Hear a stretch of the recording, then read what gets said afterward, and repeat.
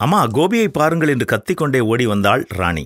தம்பி தண்ணீர் குட்டைக்குள் விழுந்து அவன் சட்டையெல்லாம் நனைந்து விட்டது. சகதியோடு வீட்டிற்கு வந்து கொண்டிருக்கிறான் என்றாள் அவள்.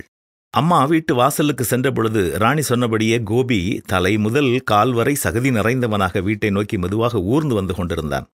அது மழைக்காலம் என்பதால் குளிரில் நடுங்கிக் கொண்டே வந்தான். குளிரினாலும் அம்மா அடிப்பார்களோ என்ற பயத்தினாலும் அழுது கொண்டே அவன் வந்தான். வாசலில் வைத்தே அவனுடைய உள்ளாடை தவிர மற்ற எல்லாவற்றையும் களைந்து கொடியில் போட்டுவிட்டு அவனை தூக்கி கொண்டு வந்து குளியல் அறையில் வெதுவெதுப்பான தண்ணீரில் குளிப்பாட்டினாள் அம்மா. அப்பொழுதும் அவன் தன்னுடைய அழுகையை நிறுத்தவில்லை. என்னடா இன்னும் அழுது கொண்டிருக்கிறாய்? வேறு ஏதாவது அடிபட்டு இருக்கிறதா என்றாள் அம்மா. அதற்கு அவன் அம்மா என்னை நீங்கள் இப்படி பார்ப்பது என் மேல் உங்களுக்கு கோபம் இல்லையா என்றான் அவன். இல்லை நீ வீட்டிற்கு திரும்பி வந்ததை குறித்து எனக்கு ரொம்ப சந்தோஷம் என்று கூறினாள் அம்மா. நான் போட்டிருந்த அந்த புதிய பேண்ட் சட்டை எல்லாம் அழுக்காகிவிட்டதே தண்ணீர் குட்டை பக்கம் போகாதே என்று நீங்கள் சொன்னீர்கள் அதையும் கேட்காமல் நான் போய் அதில் இறங்கிவிட்டேனே என்று அழுதான். அதை பற்றியெல்லாம் பரவாயில்லை கோபி நீ பத்திரமாக வீட்டிற்கு வந்ததே எனக்கு பெரிய சந்தோஷம் என்றாள் அம்மா. அந்த பிள்ளைகளுக்கு இரவு உணவு கொடுத்து பிள்ளைகளை படுக்க செய்த பின்னரும் கோபியின் அழுகையும் கேள்விகளும் அம்மாவை சுற்றி எதிரொலித்தன.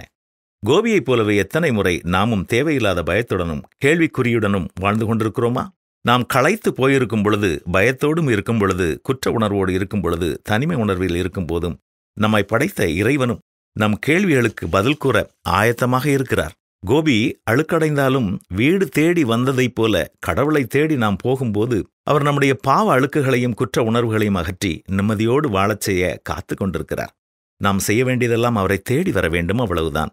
வருத்தப்பட்டு பாரம் சுமக்கிறவர்களை நீங்கள் எல்லோரும் என்னிடத்தில் வாருங்கள். நான் உங்களுக்கு இளைப்பாறுதல் தருவேன் என்றுதான் இயேசுவும் அழைக்கிறார். இன்றே அவர் அண்டை வருவோமா?